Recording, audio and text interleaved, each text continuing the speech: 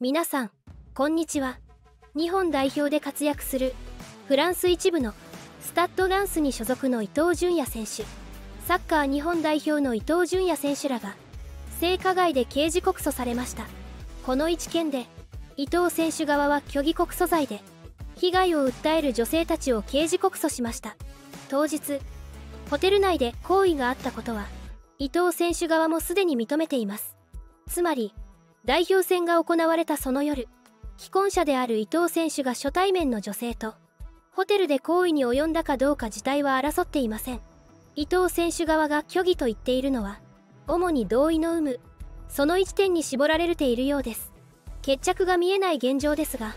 伊藤選手の敗訴の可能性が高まっているようです。今回は性加害があった日の全容と伊藤選手の敗訴の可能性についてご紹介します。まずは性加害があったとされる。あの日の全容を見ていきます。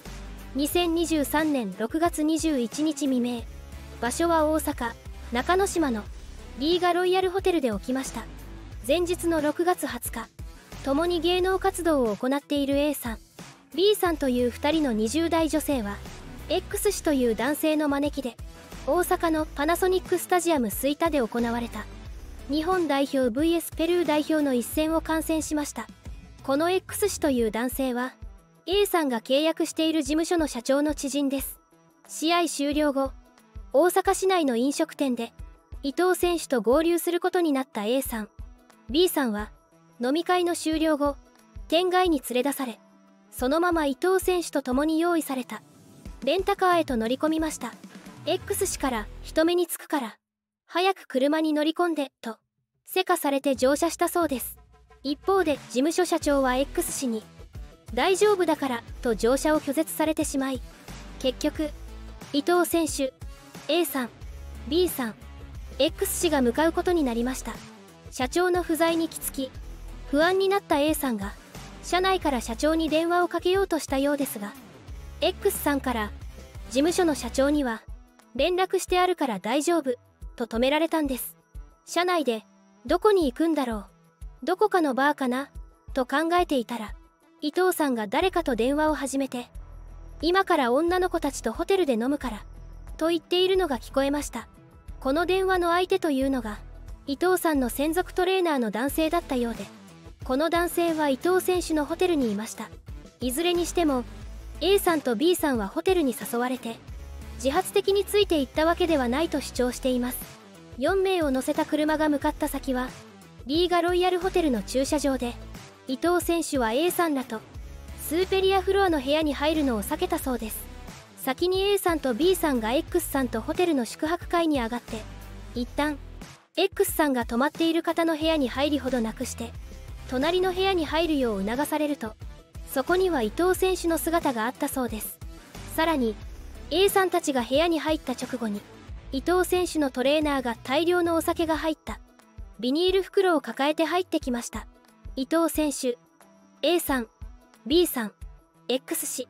さらに専属トレーナーがテーブルを囲む形で酒盛りが始まったのですが X 氏はすぐに自室に帰りました。B さんは椅子に座ったまま眠りに落ちてしまったといい B さんは普段は酔って意識をなくすなんてことはなかったようですがその日はいつもと感じが違ったようで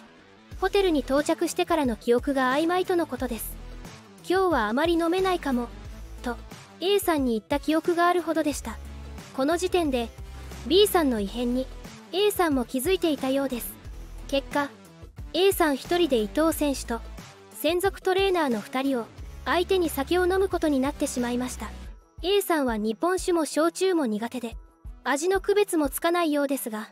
継がれるお酒を飲むしかなかったようです。一升瓶のお酒を飲んでは缶チューハイをチェーサー代わりにして飲まされました。どんどん一升瓶のお酒を紙コップに注がれて何杯も一気飲みしなくてはいけなかったようです。2人は伊藤選手らとの飲み会が芸能活動につながるという話を聞かされていたため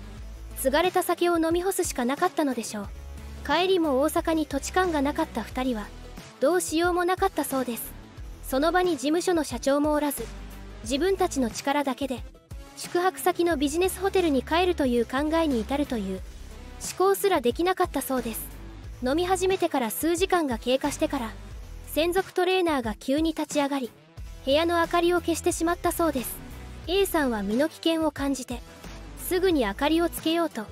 窓側のベッド付近でライトのスイッチを探しました。ですがトレーナーの男性が A さんの腕を押さえるなどして身動き一つもできませんでした。攻防はしばらく続きましたが力では到底かなわず眠気に勝てず窓側のベッドに倒れ込みそのまま寝てしまったのです。A さんはトレーナーの男性が窓側のベッドから壁側のベッドに A さんを移動させようとしたという記憶だけが残っていました。そして次にパッと目が覚めた時には伊藤選手が私の上に覆いかぶさっている状態。部屋は暗かったのですが伊藤選手の顔が目の前にあるのは分かったそうです。A さんは「うわいる」と。その光景ははっきり覚えていますと証言しています。一方 B さんも意識を失っている間に性被害に遭ったと訴えています。目覚めた時私は下着をへぎ取られ股を広げられた体勢でした。トレーナーの男性から覆いかぶさられて思うように足を動かせず跳ねのけることもできなかったと語っています。恐怖で声も出せず助けも呼べなかったようです。朝7時頃隣の部屋から X 氏が4人を起こすために伊藤選手の部屋に入ってきた際 A さんも B さんも胸などがあらわな状態だったようです。当時は何も分かっておらずとにかく体が重いと感じたとのこと。X さんが怒った様子で「もう時間だよ。何しているの?」と伊藤選手たちをせかしていたそうです。B さんによると伊藤選手は部屋を退出する際「一睡もしていないよ。俺」と口にしていたそうです。そして A さんと B さんも取るものもとりあえずホテルを後にしました A さんは B さんから何が行われていたのかを聞き愕然としました。B さんは今も PTSD の症状に苦しめられています。今まで黙っていたわけは自分が黙っていればこのことは何もなかったことにできるのではないかと考えたからのようです。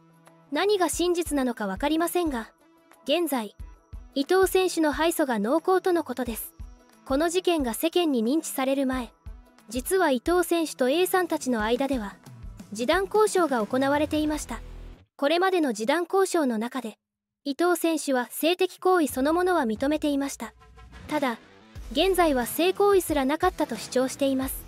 この主張以降各報道番組で女性の話は全てでっち上げだと言われ始めました。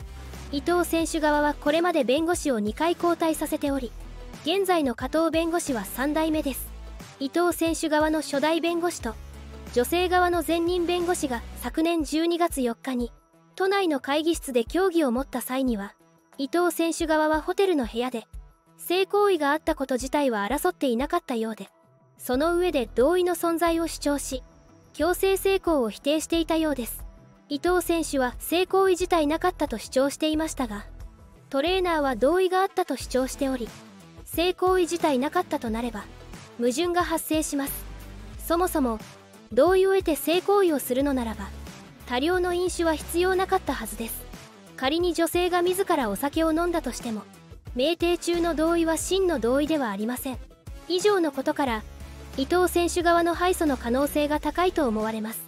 今回は性加害があった日の全容と伊藤選手の敗訴の可能性についてご紹介しました。互いの主張が対立している今は何が真相なのか分かりませんがお互い納得する形を迎えてほしいですね。最後までご視聴いただきありがとうございました。コメントを残してくれると嬉しいです。チャンネル登録高評価もぜひお願いいたしますそれではまた。